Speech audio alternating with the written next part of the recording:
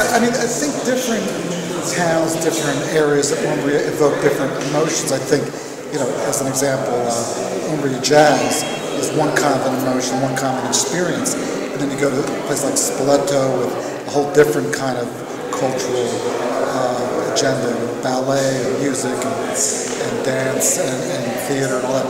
So, you know, in a place like uh, Spoleto that has this kind of wonderful tradition of uh, making designs with flowers, to Bevagna with its uh, medieval uh, festival. So I think you, you know, different areas and different towns and villages kind of evoke different emotions, a completely different experience.